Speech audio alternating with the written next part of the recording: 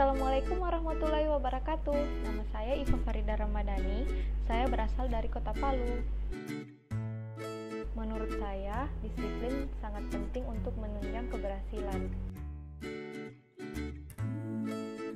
Insya Allah saya akan sholat tepat waktu, bangun tepat waktu, mengerjakan tugas sesuai waktu yang diberikan oleh guru, dan juga melakukan hal-hal yang sesuai dengan peraturan asrama, sekolah maupun di rumah. Saya adalah mengerjakan segala sesuatunya dengan sendiri tanpa bantuan orang lain.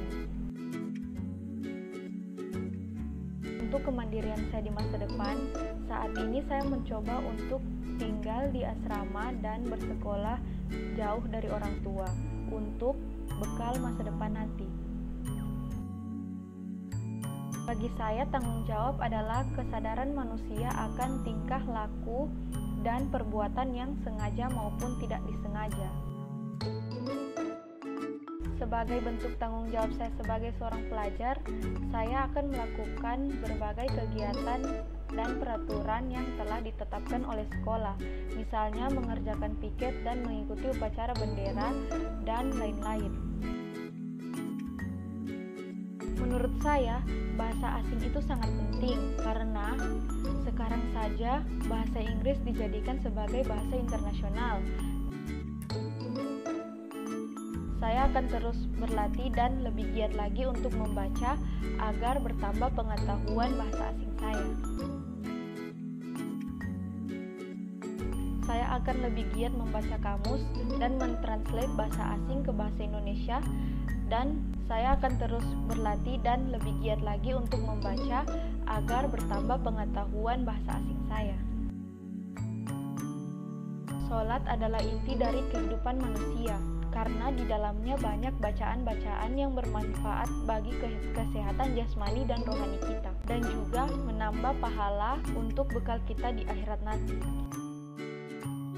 Setiap gerakan sholat memiliki banyak manfaat bagi tubuh kita. Saat ruku, kita membungkuk, maka kita melatih otot kaki, otot perut, dan otot tubuh saya betul-betul berkomitmen untuk mempelajari tentang isi penguasaan huruf Al-Quran untuk menjadi bekal dunia akhirat nanti. Cita-cita saya psikologi. Saya akan lebih memahami tentang bidang-bidang sosial dan kemanusiaan.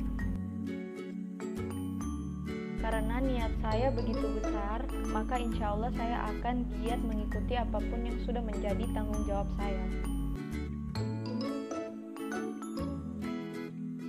Menurut saya itu perlu karena akan semakin menambah pengalaman untuk di masa depan nanti. Menyanyi, menggambar, dan menari. Mengikuti berbagai macam kegiatan di sekolah.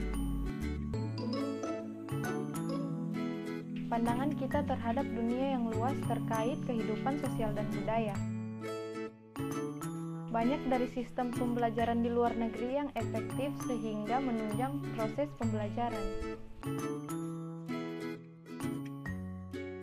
Wawasan kita lebih terbuka luas dalam pembelajaran sosial, budaya, dan karakter dari orang di luar negeri. Assalamualaikum warahmatullahi wabarakatuh. Terima kasih.